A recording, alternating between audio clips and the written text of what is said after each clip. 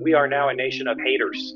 Hate calls, even death threats. Fending off threats of violence. Get off me!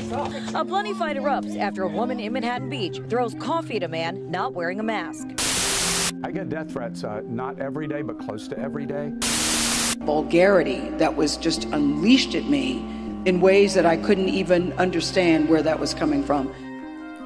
It all gone too far.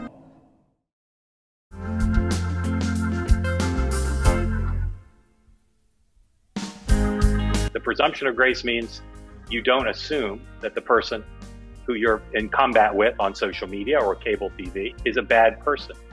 The nature of our political discourse, our social discourse, in many cases, our family discourse needs to shift from hate to, to grace. As a lot of people say, I'm all for this, but I need a pass. I need a pass for my uncle who's who's a bigot. How can they show grace, for instance, to someone who voted for the presidential candidate they did not vote for? And so I know for many people, the president is someone they don't feel they can give a presumption of grace to. I don't think this is going to work if people want to pass on 75 or 80 million people. Uh, that's a too big a group to say, well, they're not going to get the presumption of grace. What propels this presumption of hate? The four-headed monster starts with Twitter. The four-headed monster, it consists of four elements. The thing that they share in common, all four elements, all four heads, is they don't have any concern for facts. They don't have any concern for due process, for prior relationships. They don't care much about past success.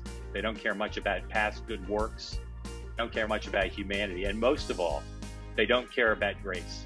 What we need to do is we need to build a good mob of grace on Twitter. I'm hoping a lot of you are already on Twitter. If not, we're going to start doing tutorials for some of you to get you on and teach you how to work it. We have the capacity to try to change things.